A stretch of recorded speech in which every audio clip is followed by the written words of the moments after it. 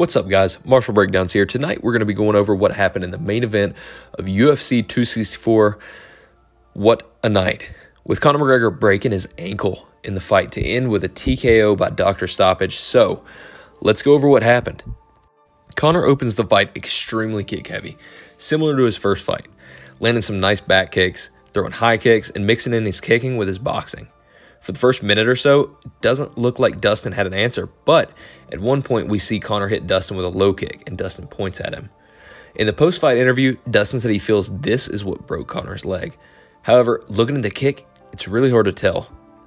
The kick is damn close to the knee. If it didn't hit the knee, it would have just caught the tendon above it.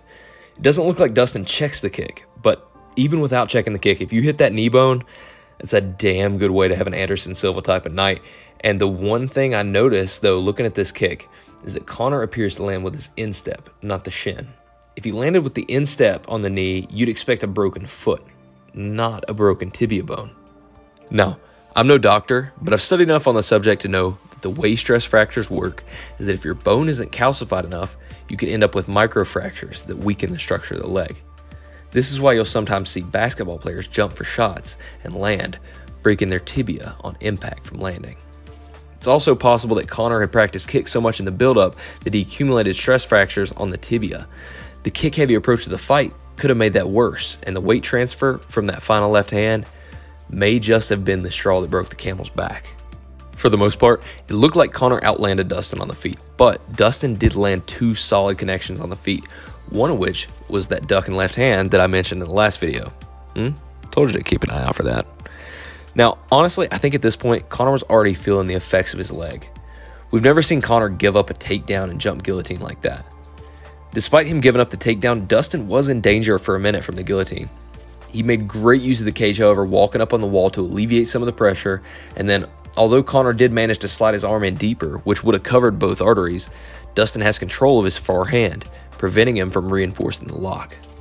Dustin starts to put on some solid ground and pound before Connor gets back to his feet. They both simultaneously throw a cross while slipping the others, but as Conor puts his weight on his back foot, the leg snaps. Man, it sucks to see a fight end like this, despite any of our biases, who we wanted to win, etc. It's it's hard, it's horrible seeing someone take an injury like this who's done so much for the sport and in a fight with this with such a gruesome injury. I hope Conor has a fast recovery and gets back on his feet so we can see him in the octagon again. He's super entertaining. And Poirier showed a nice takedown with some great ground and pound work. I'm sure him versus Oliveira is going to be a hell of a fight, and I'm really looking forward to seeing that as well. Wow, guys, hell of a night. I got to get my ass in bed.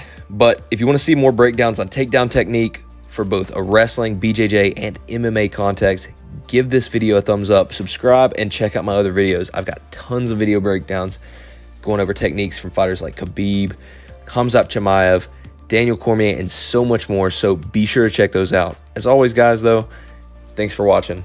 Good luck training.